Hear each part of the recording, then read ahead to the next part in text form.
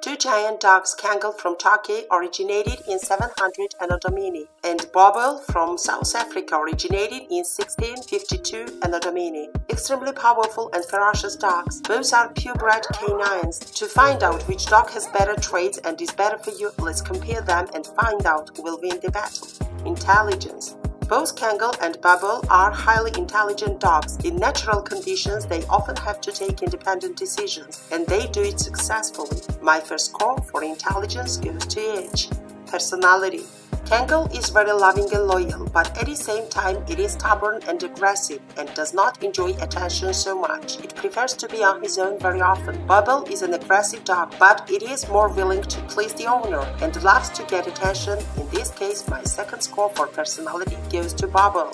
Tolerance as for tolerance, Kangal has double coat and tolerates hot and cold weather alike. Boerboel has single fur and he better tolerates hot summer than winter. Kangal enjoys time on his own and has no problem to be left alone. Boerboel does not much like to be left alone for a long time. My third score for tolerance goes to Kangal.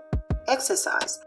Kangal has high energy level and needs more exercise. Boerboel is agile, but his energy level is medium high and does not need a lot of exercise compared to Kangal. But Kangal is faster than Boerboel. My fourth score for exercise goes to.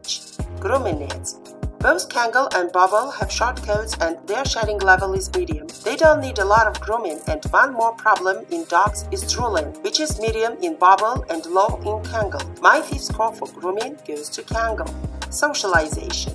Kangal is very loving only to family insiders. As for Boerboel, he loves his family, but Boerboel is more kid and pet friendly than Kangal. As for stranger friendliness level, both of the dogs are not friendly towards strangers. My sixth score for socialization goes to Boerboel.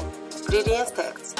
Boerboel has a high watch instinct. Kangal's watch instinct is average. Chasing instinct in Boerboel is average and below average in Kangal. To compare the fighting instincts of Kangal and Boerboel, it is high in Boerboel and average in Kangal. Guarding instinct is high in both dogs. Boerboel has a very low herding instinct and Kangal's herding instinct is very high. Hunting instinct is average in Boerboel and below average in Kangal. My seventh score for instincts goes to Boerboel. Bite Force.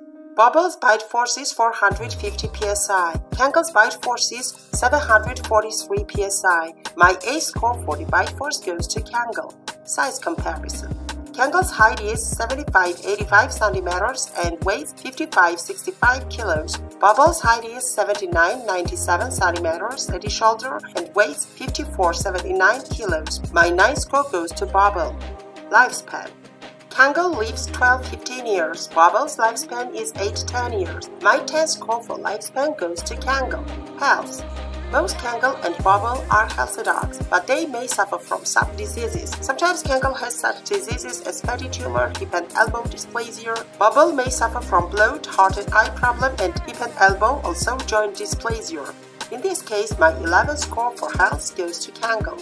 In the end, the winner is Kangal. With one more point, he won the battle. But I must point out that both dogs are amazing. Just owners should train and socialize them. And which dog is better for you, it is up to you to decide.